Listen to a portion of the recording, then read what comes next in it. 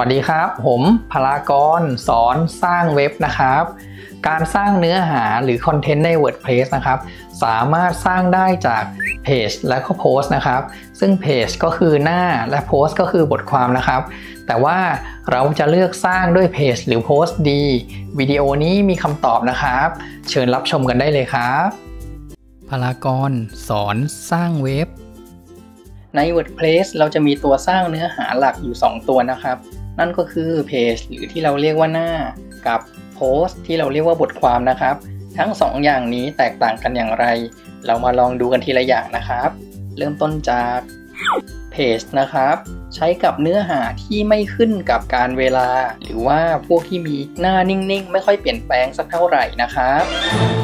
ไม่ใช่แบบนี้นะครับ หรือใช้กับหน้าที่เปลี่ยนแปลงน้อยมากๆ เดี๋ยวเรามาลองดูตัวอย่างกันครับ อย่างเช่นหน้าเกี่ยวกับเรานะครับ ในเว็บไซต์ของผม หน้าเกี่ยวกับเรานี้จะไม่ค่อยเปลี่ยนแปลงนะครับ ก็คือจะเป็นประวัติของผมแล้วก็ที่ติดต่อนะครับ หน้านี้ถือว่าเป็นหน้านิ่งไม่ค่อยเปลี่ยนแปลงดังนั้น เราจะใช้หน้าในการทำนะครับแล้วอีกหน้าหนึ่งยอดฮิตเลยก็คือหน้าติดต่อเรานะครับ เป็นหน้าที่ไม่ค่อยเปลี่ยนแปลงเหมือนกัน ของผมก็จะมีแบบฟอร์มติดต่อแบบนี้ ไปทั้งปีทั้งชาติเลยครับสำหรับโพสต์นะครับ หรือว่าบทความ เราใช้กับเนื้อหาที่ขึ้นกับการเวลานะครับ ตัวอย่างเช่น บทความที่ลงเป็นซีรีส์หรือว่าข่าวที่ลงประจำวันอย่างนี้นะครับ เรามาลองดูกันครับ ในหน้านี้ก็จะเป็นส่วนของบทความนะครับ ก็จะลงต่อเนื่องไปเรื่อยๆครับจากวันที่ 26 สัปดาห์ก่อน วันที่ 7 วันที่ 23 แบบนี้นะครับ ขึ้นอยู่กับการเวลาสำหรับบทความใหม่ล่าสุด ก็จะถูกนำขึ้นมาอยู่อันแรกนะครับ หรืออันบนสุดนะครับ แต่ที่สำคัญก็คือบทความใน WordPress เราสามารถจัดหมวดหมู่ให้มันได้ครับ อย่างเช่น ผมจัดหมวดหมู่ไว้แบบนี้นะครับ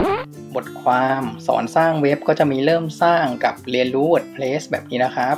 ก็จะมีวิดีโอแล้วก็แรงบันดาลใจนะครับ ทีนี้เราก็รู้แล้วนะครับว่าเพจและโพสต์นั้นต่างกันยังไง สิ่งที่ต้องพิจารณาคือให้พิจารณาจากเนื้อหาครับว่าเนื้อหาของเราเหมาะสมกับเพจหรือโพสต์ แต่ให้จำเคล็ดลับไว้อย่างหนึ่งว่าเพจคือหน้านิ่ง และโพสต์คือซีรีส์ต่อเนื่องครับ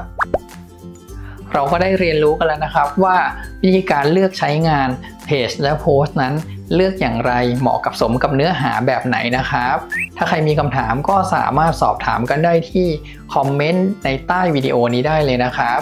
แล้วก็อย่าลืมกด subscribe Channel ของเรา เพื่อติดตามรับชมวิดีโอดีๆ ของเราต่อไปนะครับ สวัสดีครับพลากรสอนสร้างเว็บ